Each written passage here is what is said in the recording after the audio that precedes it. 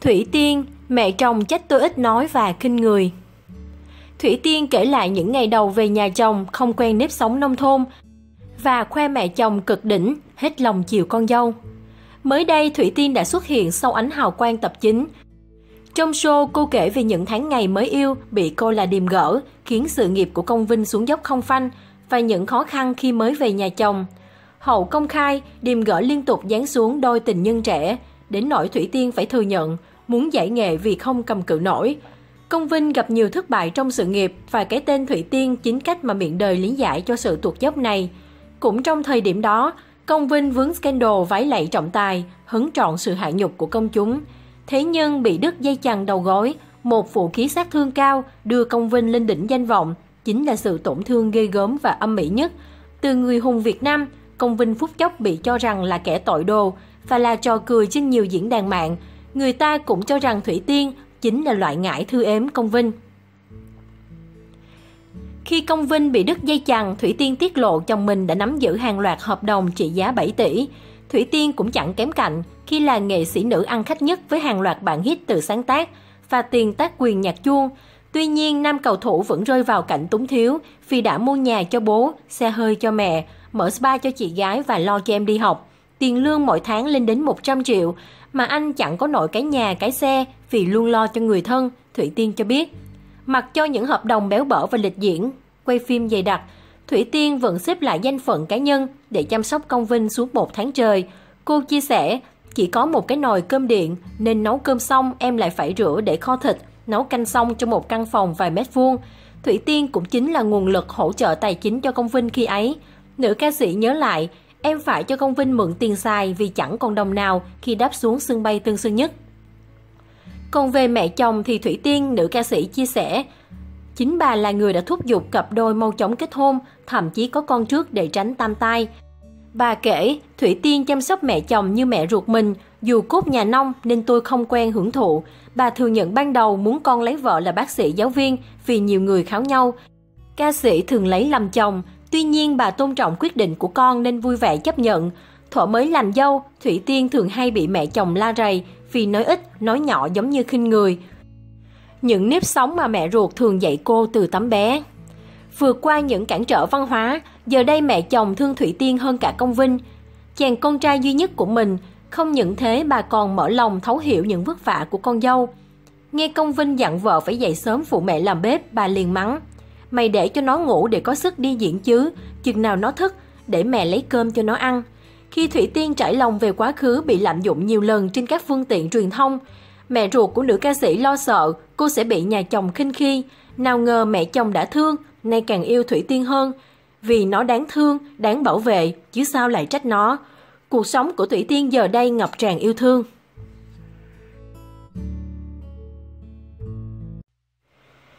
Kim Lý, chàng soái ca may mắn vì yêu hai người đàn bà quyền lực nhất showbiz. Kim Lý có thể coi là chàng soái ca may mắn nhất trong showbiz Việt, cả trong sự nghiệp và con đường tình ái. Là một Việt kiều sinh sống ở Thụy Điển, Kim Lý nhanh chóng trở thành cái tên đình đám trong làng giải trí Việt. Chỉ qua một vai diễn chứ thực sự xuất sắc trong hương ga. Ngoài gia thế khủng, cái tên Kim Lý luôn nóng trong showbiz Việt bởi những mối tình với hai người đàn bà nổi tiếng nhất nhì làng giải trí. Dù chưa lập gia đình lần nào, nhưng Kim Lý lại trở thành tình nhân của hai người phụ nữ quyền lực đã từng đổ vỡ trong hôn nhân. Không chỉ thế, cả hai mối tình của Kim Lý đều xuất phát từ chuyện phim giả tình thật. Cuộc tình với Trương Ngọc Ánh đưa Kim Lý bước chân vào showbiz. Trước năm 2014, Kim Lý tham gia bộ phim Hương Ga cùng Trương Ngọc Ánh. Đây là một trong những bộ phim đầu tiên của Kim Lý trên vai trò diễn viên ở Việt Nam. Thành công của Hương Ga đã giúp Kim Lý trở thành một cái tên hot trong làng giải trí Việt. Khán giả biết tới anh không chỉ với vai diễn Tùng Hero mà còn vì chuyện tình cảm với diễn viên Trương Ngọc Ánh. Hình ảnh một chàng trai phong độ bảnh bao gắn bó với một nữ diễn viên tài năng cá tính như Trương Ngọc Ánh khiến dư luận vô cùng tò mò. Chính vì vậy, khán giả khi ấy nhớ đến Kim Lý là người tình của Hương Ga nhiều hơn là những gì anh thể hiện trong phim. Nhiều người cho rằng mối tình giữa Kim Lý và Trương Ngọc Ánh chỉ là một chiêu PR cho bộ phim mà thôi. Tuy nhiên họ chứng minh điều ngược lại khi gắn bó với nhau đến cuối năm 2016 mới đường ai nấy đi. Sẽ không quá lời khi cho rằng kể từ khi chia tay Trương Ngọc Ánh, cái tên Kim Lý trở nên mờ nhạt trong làng giải trí Việt. Mối tình với Hồ Ngọc Hà hâm nóng tên tuổi Kim Lý. Thời gian gần đây, Kim Lý lại trở thành tâm điểm chú ý của cộng đồng mạng khi xuất hiện trong MV Cả một trời thương nhớ của Hồ Ngọc Hà. Trong vai một chàng sĩ quan, say đắm giọng hát của Hà Hồ, Kim Lý trở thành người tình trong MV, đồng thời cũng là bạn trai ngoài đời thực thụ của cô sau những ồn ào tình cảm. Khi MV mới ra đời, bản thân Hồ Ngọc Hà cũng thừa nhận mời Kim Lý tham gia MV là một QBA. Mới đây nhất, Kim Lý và Hà Hồ chính thức công khai bên nhau. Những hình ảnh thân thiết của hai người lại xuất hiện và trở thành tâm điểm của cộng đồng mạng. Nhiều người cho rằng cuối cùng Hà Hồ đã tìm được bến đỗ hạnh phúc mới sau những sóng gió tình duyên. Tuy nhiên sẽ là quá sớm để đưa ra bất cứ một nhận xét nào về chuyện tình cảm của hai người. Những điểm trùng hợp thú vị trong chuyện tình yêu của Kim Lý Tên tuổi của Kim Lý nổi bật từ chuyện tình cảm với Trương Ngọc Ánh và Hồ Ngọc Hà. Đặc biệt, hai mối tình này đều có những điểm chung vô cùng kỳ lạ. Hương Ga là bộ phim đầu tiên đánh dấu sự xuất hiện của Kim Lý trong điện ảnh Việt. Kim Lý đến với Trương Ngọc Ánh và Hồ Ngọc Hà đều xuất phát từ những dự án nghệ thuật mà họ cùng tham gia. Nếu Kim Lý yêu Ngọc Ánh vì Hương Ga, thì anh đến với Hồ Ngọc Hà từ MV Cả một trời thương nhớ ngay sau những dự án nghệ thuật này là những ồn ào về chuyện tình cảm của hai nhân vật chính. Tuy nhiên, thời gian đầu đến với Trương Ngọc Ánh và Hồ Ngọc Hà, rất nhiều người hâm mộ đều cho rằng đó chính là chuyện tình cảm nhằm bia cho sản phẩm nghệ thuật mà họ cùng tham gia. Dù Kim Lý chưa có vợ, nhưng cả hai người tình của anh đều là những người phụ nữ đã có gia đình và con riêng. Phải chăng Kim Lý có duyên với những người phụ nữ đã một lần gian dở? Mặc dù có rất nhiều điểm chung, nhưng người hâm mộ vẫn hy vọng rằng mối tình của Kim Lý với Hồ Ngọc Hà hiện tại sẽ không có cái kết buồn như đã từng xảy ra với Trương Ngọc Ánh.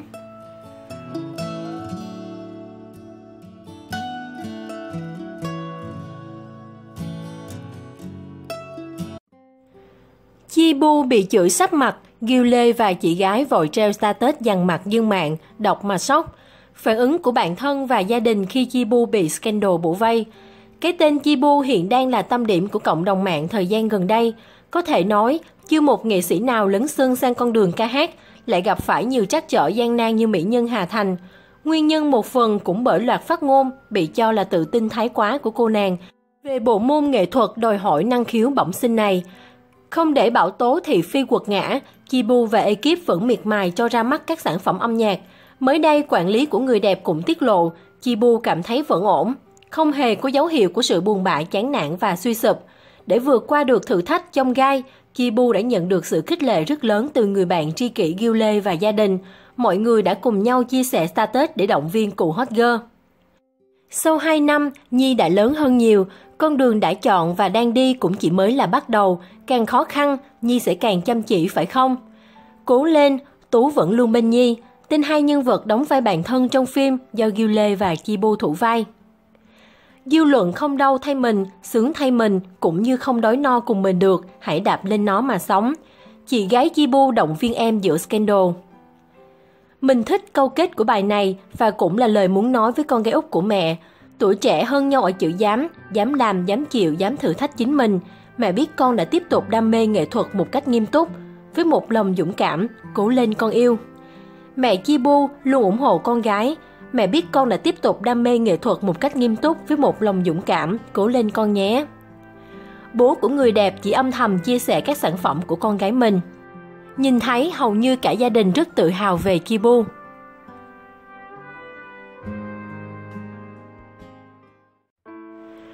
Thủy Tiên trách công vinh, tiền lương 100 triệu đồng mỗi tháng mà chẳng mua nổi cái nhà, cái xe.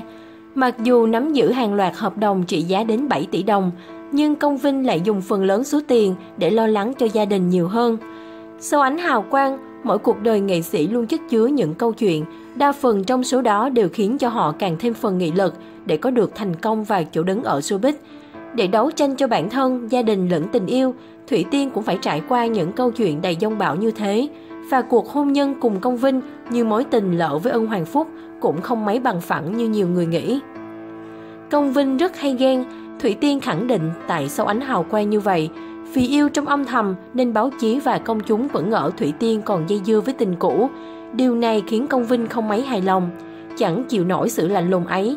Trước khi sang Bồ Đồ Nha thi đấu, nam cầu thủ gốc Nghệ An từng chủ động công bố tình yêu trên báo chí vì sợ Thủy Tiên ở Việt Nam quên mình. Nên đôi cùng người hùng bóng đá Thủy Tiên kể, lúc đó cả Việt Nam ghét em, vì nghĩ đây là chiêu trò để nổi tiếng. Cô cũng cho biết người đời thường nghĩ những nữ ca sĩ sexy là minh họa điển hình cho sự hư hỏng. Trong khi đó, cầu thủ lại là một tầng lớp không đủ kiến thức để nhìn nhận đúng sai. Chính anh Công Vinh cũng bị toàn bộ người hâm mộ quay lưng. Thủy Tiên nhớ lại, Công chúng cho rằng điều duy nhất tồn tại giữa họ là bản hợp đồng tình ái có giá trị kết xù. Khi tiếng sét ái tình bùng nổ trên mọi phương diện truyền thông, thì cuộc sống của công vinh Thủy Tiên cũng chìm trong giông bão. Hậu công khai điềm gỡ liên tục dán xuống đôi tình nhân trẻ, đến nỗi Thủy Tiên phải thừa nhận muốn giải nghệ vì không cầm cự nổi. Công Vinh gặp nhiều thất bại trong sự nghiệp và cái tên Thủy Tiên, chính cách mà miệng đời lý giải cho sự tụt dốc này, người ta cũng cho rằng Thủy Tiên chính là loại ngải thư ếm Công Vinh. Ở thời điểm đó, nam cầu thủ vẫn rơi vào cảnh túng thiếu phi đã mua nhà cho bố, xe hơi cho mẹ, mở spa cho chị gái và lo cho em nhỏ đi học. Tiền lương mỗi tháng lên đến 100 triệu mà ảnh chẳng có nổi cái xe, cái nhà vì luôn lo cho người thân, Thủy Tiên cho biết. Giữa bổ vay của miệng đời cay nghiệt, Thủy Tiên đôi lúc hoài nghi về tình yêu nơi chính mình. Sau tất cả, cô đã bỏ hết hào quang để đồng hành cùng nửa kia, mặc cho những hợp đồng béo bở và lịch diễn, quay phim dày đặc. Thủy Tiên vẫn xếp lại danh phận cá nhân để chăm sóc công vinh suốt một tháng trời. Thủy Tiên cũng chính là nguồn lực hỗ trợ tài chính cho công vinh khi ấy. Nữ ca sĩ nhớ lại, em phải cho công vinh mượn tiền xài vì chẳng còn đồng nào khi đáp xuống sân bay Tân Sơn Nhất. Cảm thấy mình như kẻ bại trận, sự tự ái của công vinh đôi lúc khiến Thủy Tiên phải rơi nước mắt vì tổn thương. Nhưng sau tất cả họ hiểu đó là phép thử, để sợi tơ tình yêu ngày một chuyển hóa thành gốc rễ vững bền.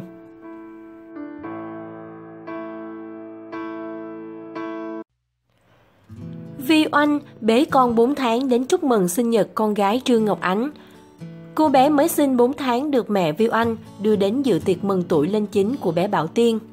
Tối 19 tháng 11, diễn viên Trương Ngọc Ánh và Trần Ngọc Sơn cùng tổ chức tiệc hoành tráng mừng con gái Bảo Tiên. Bữa tiệc diễn ra tại một nhà hàng sang trọng có cổ phần của Trương Ngọc Ánh. Con gái Trương Ngọc Ánh và Trần Bảo Sơn sinh ngày 20 tháng 11 2008, năm nay tròn 9 tuổi, đã ly hôn nhiều năm nhưng Trần Bảo Sơn và Trương Ngọc Ánh vẫn chưa cho con gái Bảo Tiên biết. Trong một bài phỏng vấn, Trương Ngọc Ánh chia sẻ cô và chồng cũ muốn con gái có cuộc sống bình thường như những đứa trẻ khác. Trần Bảo Sơn và Trương Ngọc Ánh hiện giữ mối quan hệ tốt như những người bạn bè thân thiết để cùng nhau nuôi dạy con gái. Trong buổi tiệc sinh nhật tối qua, Bảo Tiên đã rất da dáng thiếu nữ. Bảo Tiên hạnh phúc trong vòng tay bố. Ca sĩ Viu Anh bế theo con gái 4 tháng tuổi đi dự tiệc, đây là lần hiếm hoi nữ ca sĩ để con gái xuất hiện tại một sự kiện. Trương Ngọc Ánh ân cần hỏi thăm con gái Viu Anh. Dù mới hơn 4 tháng tuổi, nhưng cô bé đã tỏ ra dạng dĩ, không e sợ khi ở chốn đông người. Hoa hậu Hà Kiều Anh mang theo ba con đến dự sinh nhật của bé Bảo Tiên. Bé Vivian Huỳnh được cho mặc tông sụp tông váy đỏ với mẹ khi đi dự tiệc. MC Bình Minh đi tiệc cùng hai cô con gái An Nhiên và An Như gia đình Bình Minh Anh Thơ có mối quan hệ thân thiết với Trương Ngọc Ánh nhiều năm nay. Diễn viên Quyền Linh xuất hiện bên hai nàng công chúa lọ Lem và Hạt Dẻ. Diễn viên Khánh Hiền nắm chặt tay ông xã, bê quà đến mừng sinh nhật con gái Trương Ngọc Ánh, vợ chồng người đẹp hoa vàng trên cỏ xanh mang theo con trai đi cùng. Diễn viên Chi Bảo đi dự tiệc một mình, anh tươi cười khi hội ngộ Trần Bảo Sơn và Trương Ngọc Ánh. Chi Bảo và Trương Ngọc Ánh là bạn thân, đồng hành với nhau trong nhiều dự án.